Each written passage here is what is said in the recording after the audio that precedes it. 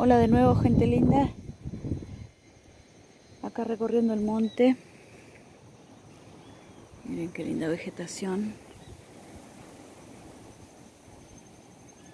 Encontré este caraguatá.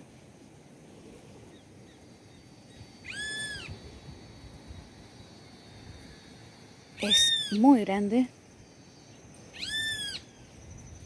Y ya dio Ahí la vara queda la flor allá arriba. En este caso es altísima. A veces se, se pueden ver de más o menos un metro, pero miren qué alta que es.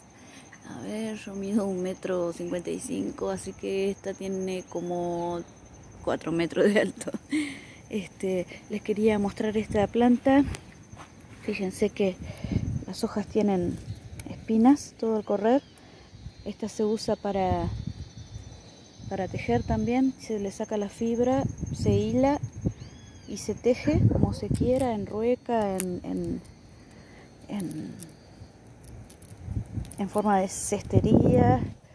Este, o ya les digo, si se hila la fibra, se puede tejer también a dos agujas o, o con aguja de crochet, con ganchillo.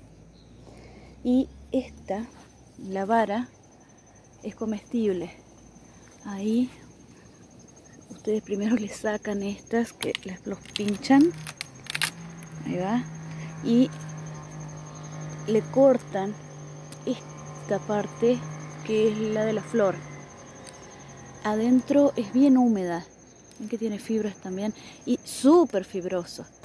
Este, es comestible como, tiene un sabor como a como a zanahoria, pero suavecito. Entonces la pelan y lo de adentro es lo que se come.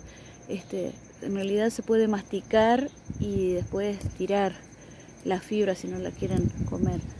Em, tiene mucha agua. Yo toco así, raspo un poquito y toco y ya, ya está húmedo. Bien.